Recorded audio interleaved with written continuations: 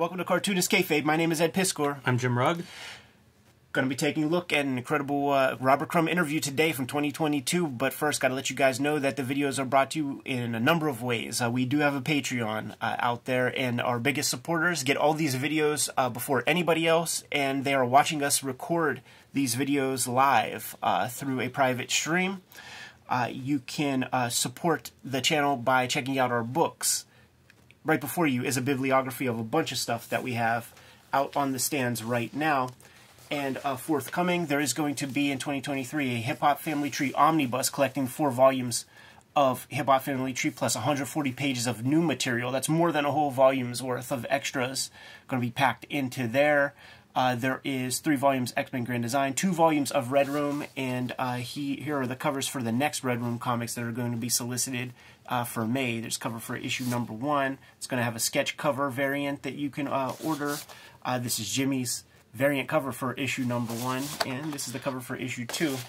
Big year 2023 for the King K Favors. Jimmy's going to have Street Angel, Princess of Poverty. It's a companion piece to Street Angel Deadliest Girl Alive, and when you have both, you have all of the Street Angel comics that have ever been published to date.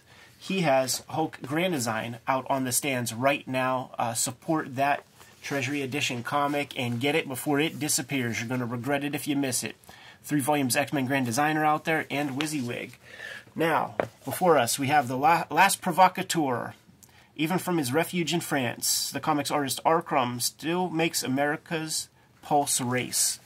We're covering this interview because, first off, we didn't know it existed until two people have sent us these magazines uh, over a period of time. Uh, Scott Strong, the guy who has sent us this amazing Barry Windsor Smith material, hooked us up with the magazine the first go round. This is the uh, New York Times Style uh, magazine uh, for the date of September 18th of 2022. And then we recently got another copy of this in the P.O. box. So when you get two of these things. That bears some investigation for sure. And uh, interviews like this, I like to read a good. Crumb interview uh, every couple of years and, and, see where the hell he's at in his life and his career. It'd be interesting to um, to to do a few of these over the decades to see because like his position does change quite a lot. You know, at this point, like he's now represented by one of the biggest art galleries in the world. You know, um, I forget who it was recently. I heard them say like he might be the greatest living artist you know, like that status is different than it would have been 20 years ago, 40 years ago, even though he's very successful at each of those steps. Yeah. But the way the world sees him changes. Totally. So it's nice to see like a, uh, a, a, a I, I consider this current, you know, like 2022. Yeah. It's, I mean, it's just a couple months ago. Yeah. So it's kind of interesting to see that snapshot of him at this point. Do you have the Crumb uh, TCJ book uh, no, collection of interviews? Like I, I, have it over there, man. But I probably have the scans or something. Could get those access to those interviews, and yeah, it would be good to go go through a sample of these things. Uh, off the bat, dude, in paragraph one, they talk about the comic that we just looked at on the channel, A Short History of America, the 12 panels yes. showing uh, the the sort of evolution of a little plot of land. You know, one of the things uh, that that we sort of left out when we were looking at that comic was that thing was a house, and then in about six panels, it just becomes like a little delicatessen. Like you can't even live there anymore. It's now a big part of the city. Eminent domain might have been a thing, or some rich developer bought bought it. But uh, you know that that house, the evolution of just the house is, is uh, there's a heartbreaking uh, component to that piece, man. Yeah, I just saw recently uh, all the clickbaits, everything that comes across, and I saw one, and it was about like the last mansion in, in Manhattan being sold or whatever uh, or last private mansion or something along those lines where it's like surrounded by these gigantic commercial buildings and you have a residency in between them. Uh, this is a fairly broad overview of uh, Robert Crumb. Um, the writer, M.H. Miller, uh, definitely leans into verbiage from the documentary from the early 90s kind of a lot which mm. which to me is a little bit unfortunate because I don't care about quotes from 30 years ago. Like, let's let's talk about today. And uh, on on Crumb's uh, book bookshelf, you know his to read pile, because our fathers lied, UFOs and nukes, gray aliens, and the harvesting of souls. Uh, this reminds me, like, got uh, dinner at SPX. Uh, in uh, Gary Panter was there, and was talking about like his alien theories and things. and was talking about either talking to Crumb about such things or like Crumb was brought up and, and like these dudes they, they, they love that fringe you know stuff You know what? I do too, and and I often think about it because he's like, I'm very interested in fringe things like that. But at this point, aliens are pick your news source. They're on every channel. They're on every you know whatever homepage you go to. Uh, I feel like aliens have become mainstreamed. But that fringe thing was so cool because comics were fringe. Yeah. Especially comics that weren't aimed at selling Spider-Man underwear or whatever to kids. Like it was fringe, an adult comic. and so like they kind of sat on the shelves easily next to each other. Interesting art, interesting writing, like all that stuff would exist in the fringe outside of whatever commercial concerns were sort of governing the editorialization of it. think about uh, think about um, Eide's heyday, the big comic shop uh, here in Pittsburgh. Uh, there would be the literature section, and it was all subversive literature. Yes. like there would be whole books on the occult. Like that's where you could buy your anarchist cookbooks, hydroponics, how to, how to grow, you know, marijuana in weird conditions. Those books from, you know, Feral House and Loom, Right. Loompanics and uh, Paladin Press, like all those goofy books that you know could set you up to be a survivalist, and certainly will be putting you. You don't want to buy those books uh, with a credit card. Yeah, you get some of that paranoia later on in this in this interview too, where they talk about Crumb not having a cell phone and also like uh, being concerned about his emails because they all go to NSA. and it and it does. I mean, that, that's been proven. Uh, there there there is a thing called chatter though, which. Uh, yes, they collect it all, but they don't have enough people to listen to it all. So you better not say uh, the wrong stuff. It's kind of wild to think this is where Crumb's head is at, though. You know, I mean, I guess in some ways it's the popular story of, of, of our world today, AI and all of these things, and it seems like yeah, Crumb is is uh, interested in that stuff as well. You know, I think about um, the the time that these people grew up in with with Richard Nixon, being a young adult when Richard Nixon happens, and you could take a look at uh, the, all the popular um, uh, presidential approval rating. Like you could see throughout the history of America since they started doing the approval stuff, up until Nixon, it was almost 50-50 like like uh like no no no no no no. Sorry about that. It was almost 100% of people were like yeah this is our president. Like we got to get get behind him. Uh nixon fucks it all up Right. and creates that space for amazing paranoia because because now you got shenanigans happening that is demonstrable. Uh, you got examples of yeah, we will hurt our own. You got Kent State happening when these people are young, running around and stuff like the stuff that they lived through and saw. It breeds its own version of paranoia, and the same as like you know his parents probably had like from the depression and and you know squirreling money away and behind bookshelves and things like that. Like it's real interesting thinking about it in those terms. Yeah, they, they even kind of touch on that. Um, Aline uh, Crumb's wife is still alive at the point in this interview, so they you know she contributes and they talk too. And she says like they moved to France in the '80s, and uh, that it was not a good decade in the United States. It was like now, but not quite as bad. I feel like whenever you check in, like when you're born, when you become conscious of media around you, you can keep going back in history and find these parallels like you're just describing. Like all of the stuff that we are dealing with today, it didn't start this decade No, or last decade or the one before that. When I when I started getting underground comics, I would always be like, "Oh shit, this underground comic from 1968, same stuff that they're talking about in there is what we're talking about today." Like it's so never ending the cyclical nature of these things. said one of the uh, last straws, man, uh, that inspired them to get the hell away was when uh, Reagan starts to cut educational funding, Yeah. and at Sophie's school, there's no longer music or art classes. And imagine that have two artistic parents who know the power and importance of, of art, and they're musicians, and and now your your daughter doesn't have access to that. And listen, man, I just became became a uh, owner some real estate and paid school tax. Like if that money don't go to stuff that I wanted to go to, like Yes. as a parent, I could see myself being real angry about that sort of thing. How about this though? For a little bit, Crumb volunteered and taught drawing at that school. Imagine if you were a kid that had Crumb as your drawing teacher. Yeah. What a what a memory! I want to hear from those people, man. What do they remember from that? Imagine if that is even possible now. Like for for Crumb to do, he can't he can't go to a damn college course. Phoebe Gloeckner is quoted in here, man, because she's teaching. She was teaching a course, She's been a teacher in academia. We're talking higher education. We're talking 18 or older. And some little clowns are like crying about uh, that that it, it got Crumb got slid into the curriculum and it like you know whatever the new Gen Z buzzwords are for being offended at that kind of thing. And even Gloeckner, see, this is a very holistic interview. It's great, man, because you need some POV, right? And it's great that Lynda Barry and Phoebe Gloeckner are, are here to just sort of bolster bolster the uh, the the work and achievements of the guy. He said that you know that at the end of that little time teaching, like the local preacher was driving students out of his class by saying crumb agent of the devil Yeah. so like that's you know way pre-social media like that's a person a It's local always- yeah. person like bringing that after you Yeah, and he's always dealt with it, man. Like, like, and that's where they get the quotes from the lady from Mother Jones magazine that are straight from the Crumb documentary. You know, in that documentary, Trina Robbins is is you know kibitzing about you know Crumb's portrayal of women and this and that. Here's here's something, man. I actually went on the website, and you got to actually contact the gallery for the price of this comic. So. uh it, it might not be easy to get your hands on this. The Crumb Family COVID Expose, uh, drawn by Aline, Robert, and I think Sophie. Yeah, I believe ha- Has some pieces, even though her name isn't mentioned on there. But uh, you go on the website, and I don't see even a page count or something. So, uh, so it doesn't feel.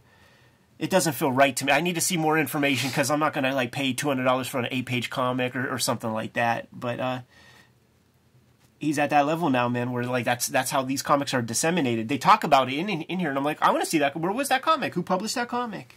i remember it made some noise i thought this tidbit um, i didn't know this george lucas bought the book of genesis artwork That's fascinating because 2.9 million the rumor was that it was um, Steve Wozniak. That's that's the name that I heard uh, time and time again. But right here in print, man, it's it's George Lucas, who is another bit bearded, portly fella. It's worth noting too, like even the uh, the writer of this article says at least according to a two, 2017 comic. So, you know, maybe maybe that's not where it ended up, or maybe it's changed hands since then. Who knows? Leo owns a couple. Talks about those sketchbooks. You know, the famous story from that, that we always hear is trading uh, sketchbooks for that place in France, and it says here he sells those notebooks for uh, about a, about a million dollars each. If you Yeah. want a crumb notebook at home. Yeah, yeah, he's just saved his his notebooks. It's so funny too to see like name dropping like Leonardo DiCaprio, you know, and his uh, his father who was connected to Underground Comics. They get get a name drop because why not, man? It's it's a New York Times magazine. Let's get some some big names in here. You mentioned it, uh, represented by the uh, David uh, Zwirner Gallery. Get some quotes from from the gallery owner. And you know, it, it talks about it, and we know this. People either love it or they hate it, and I feel like that's really like you have to have that to be a certain level of success. You do. It almost feeds the the it fuels the fire for success. Because it keeps it keeps your name relevant. It keeps people talking. It's exactly what you were saying a minute ago about politics. You know, like the political situation Absolutely. is fifty. It's got to be fifty point one versus forty nine point nine because otherwise, if it's majority's happy with this or that, there's no story. There's It's no true. clickbait. His iconography includes every taboo imaginable. What a summary! Jeez. They talked about like it's not in this interview, but Crumb, Crumb mentioned it uh, in it might have been Comic Book Confidential, where like they they created this opportunity, and the job for the first couple of years was to just like take things literally as far as they could possibly push it down to incest stories and things like that, and then you kind of dial it back. And I feel like that that makes so much sense, man. We're like what, like in a medium that really got infantilized for 15 years up to that point with the comics code and the chilling effect of the comics code and and uh, you know the pl- placidity of, of mainstream Marvel DC and then the other big comics are you know Little Lulu and Donald Duck and things like that. I feel like art history works that way. You know, it's cubism or abstract expressionism and all those different kinds of uh, movements that happen. The underground movement is like an exercise in like let's let us show you just fucking how far you could push it, and then you got your Hernandez brothers and your Clowes and to, to like pick up the pieces and and make something more rich. I, I use this analogy all the time, but I always think of it as like it's it's a frontier. It's, it's Yeah. like you're mapping this stuff out, and those underground comics definitely were like pushing that frontier, and Yeah. then you can fill in. You know, like, like Beautiful. the the the alternative car- cartoonists of the '80s can then come in and explore all that area behind them. That's like this is all new area. Right. Let me stake my homestead here. Yeah, they you know they talk about it all, man. Uh, you know the racist portrayals of of black people is certainly uh, something that's going to follow a crumb forever. Uh, I'm watching uh, collections of um, Mickey Mouse cartoons from from day with like the black and white shorts and things, and on these DVDs they have Leonard Maltin on there, kind of giving some context and things. But before there will be something that's um, spicy, something divisive uh, Leonard Maltin will have like a little intro bit to kind of explain context at the time and things, uh, and then and then you like launch into the the cartoon. So he tries to create uh, a state of mind, like not making zero excuses for for the material, but uh, I thought that was noteworthy. And and and Maltin makes the makes the uh, argument like like should we put these works into a vault never to be seen he's and he said you know it's absurd you know like we we can learn this is stuff that we can learn from it is art from a period of time you know same applies here Yeah, here we get into uh, Alison Bechdel and Lynda Barry talking about Crumb. Man, I hate to use the word defender, but it's literally the word that, that Miller's using in the text. But you see those cartoonists of that caliber weighing in in a positive way, and Right. and I feel like, yeah, I'll defer to them. I'm, I'm happy to to uh, value both of their opinions. It, it, I bet if you're the writer of an article like this, it is fun because you do get to pull out both sides of this argument, just highlight like a who's who on either side. yeah it's a it's a uh, you know this is not the kind of uh, article that's just you know done, done done in a weekend or something. Like this guy put in work. He talked about half dozen to to ten uh, sources you know down to Zwigoff and uh, you know and others to uh, put this piece together. Might have, might have taken this poor bastard the summer to, to write it Yeah, yeah, and probably was uh, some fun conversations that, that don't make it in here from talking to these various people. I love this quote from Lynda Barry. Uh, she says that what R. Crumb gave her was this feeling that you could draw anything, right and that's amazing. And when I think of Lynda Barry, like I feel like she's given that to so many people through her work. So it's kind of cool to see her identify that in another artist. Yeah, totally. Uh, Phoebe Gloeckner talking about showing her show, showing the comics in uh, in her coursework at the, the university that she teaches at. You know, has taught at for for 18 years, and and the sort of pushback and uh, the defense that she had to enact to just you know with administration even. Unbelievable. Phoebe Gloeckner's one of those people, like, I got that Dangerous Drawings book. For Yeah. anybody unfamiliar with it, it's a collection of maybe 15 cartoonists from late 90s. Clowes, Chester Brown, Chris Ware, Phoebe Gloeckner. That's when I first came across all these artists and really like added them to my reading list. We need to look at some of her work. Oh, she she's was one of my just favorites. in that um, Raw and Weirdo art show, and I just got the catalog, and there's some beautiful Phoebe Gloeckner work in there. Her background is a medical illustrator. I know we're going off on a tangent here, but she is so good as an illustrator. Oh, incredible, incredible! It was, it was her stuff that I gravitated most when she came to when that, that show came to uh, Carnegie Mellon. Yes. Like she had some some amazing pieces in there, uh, for sure. Um, but you know, they're they're also talking about that stuff that you, you hear the like the very sort of emotionally charged people on your Twitters and and online, your social medias, where there's this thing where people think that like because you put something into the work, then you are the thing. Like I see people even who uh, you know, have a Nazi in their story who is the villain, who um, people make the argument online that you now create a platform for Nazis, like like you're basically Streisand affecting Nazism by talking about it and, and putting it out there. It is it is a fascinating, perfect time period to uh, to interview Robert Crumb uh, for this kind of thing because uh, you know off camera, away from you know things on the record, almost hundred percent of the people that we interact with uh, are like the polls are going crazy, man. The left is out of control. The right is out of control.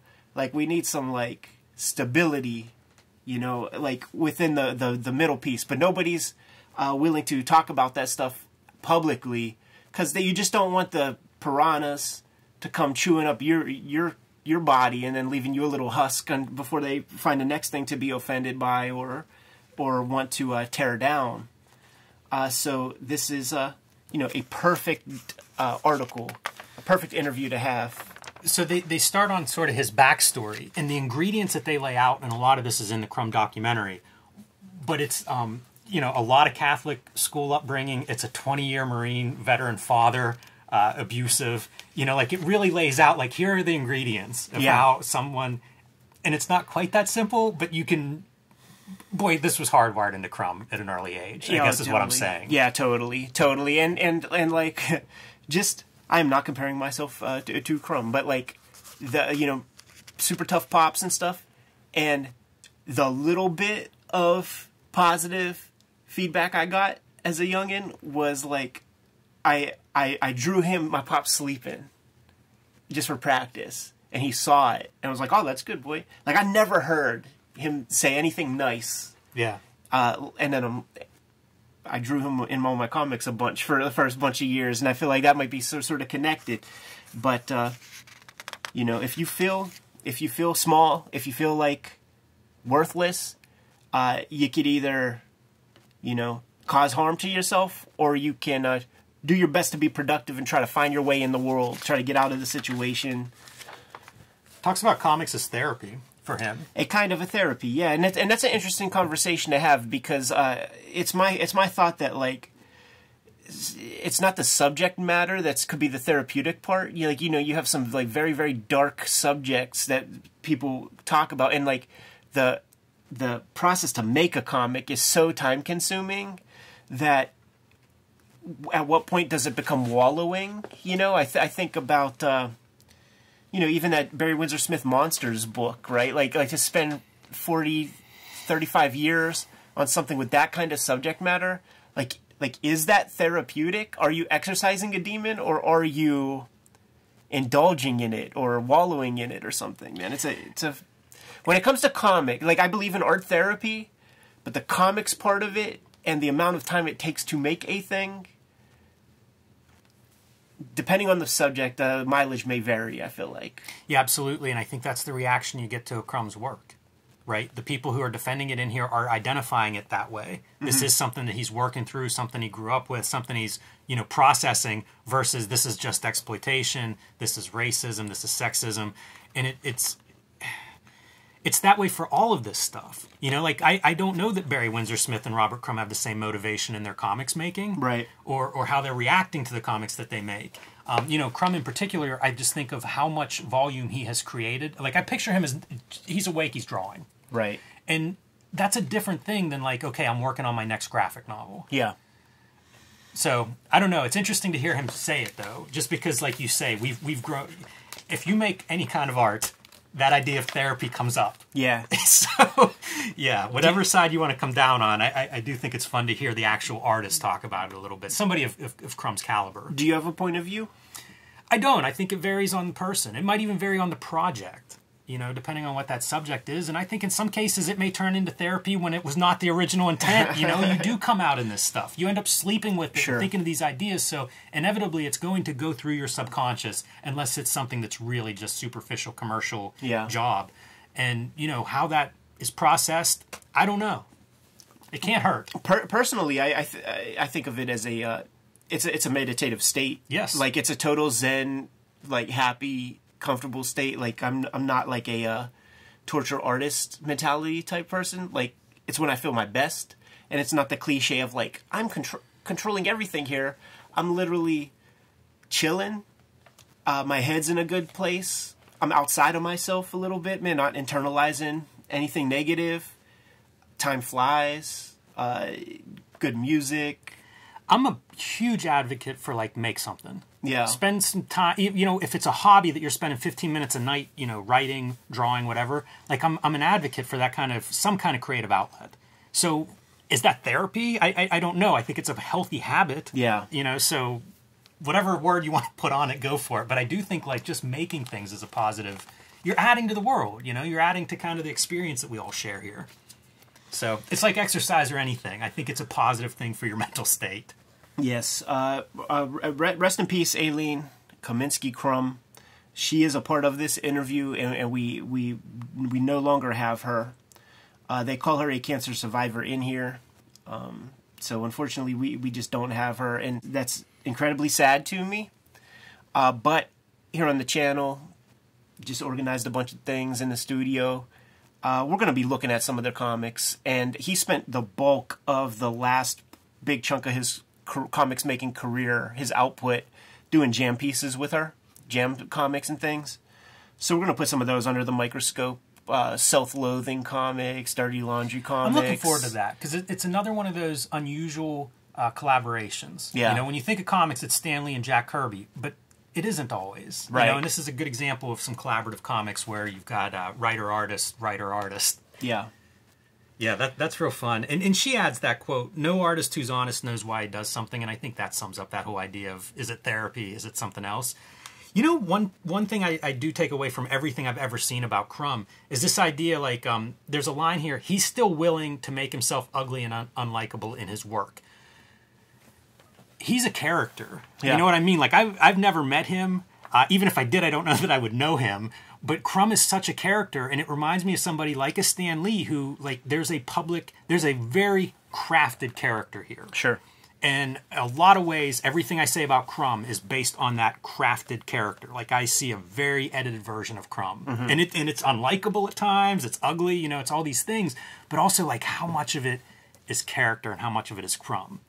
Because I have heard from people that know him, that's not quite what you get. Even like Gary Groth in some of those interviews in the Comics Journal will kind of talk about him. Um, can't remember if it was at the Dallas Fair. It might have been at an event in, in Seattle, uh, one of those art shows where a bunch of cartoonists were, and he's like pratfalling and fooling around with Burne Hogarth, you know, and stuff like that. And you see like there are these other sides of him. You know, I don't know that he's this guy that we see in his comics. You know, I think there's probably a lot more to him. But yeah. I love that idea that like we craft these these characters and then that's who we are. And and now that's the norm because everybody has their their online aliases, you know, their their personas. Used to just be Crumb and Stan Lee, and now it's everybody. Yeah, some people that's all they have. That's because they certainly ain't making comics. True. With all those Twitter fingers, man, you good to go? Yes, I am. Kayfabers, like, follow, subscribe to the YouTube channel, hit the bell so we can notify you when new videos are available. Uh, hit up our Patreon. It is in the link in the description below, and depending on your level of support, you're seeing all these videos before anybody else, but the vids are brought to you by the books that we make. Jimmy, tell the people what's out there, man. Street Angel Princess of Poverty coming out later this spring. You can pre order that now from Image Comics, and that will collect all of the comics that are not in Street Angel Deadliest Girl Alive, which is also available now. Uh, the Plain Janes my young adult graphic novel, and Hulk Grand Design both are out and available.